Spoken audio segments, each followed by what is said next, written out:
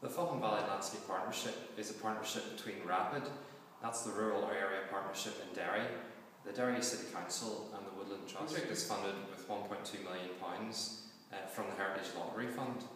Um, now the partnership works together really well because the council owns a lot of the sites that we work on, including the Woodland Trust. They have uh, a number of woodlands in the, in the area. Partnership is beneficial because a lot of the sites that we work on are owned by either the Derry City Council or the Woodland Trust. My project with Plantation Woodland Sites is was initiated by the Woodland Trust. Um, they've been actually working on similar projects in England for a number of years now. So my project is overseen by them in that in that respect. Um, also, Lisa's project with invasive species um, ties in with the Derry City Council's work, um, and they would work together in those projects.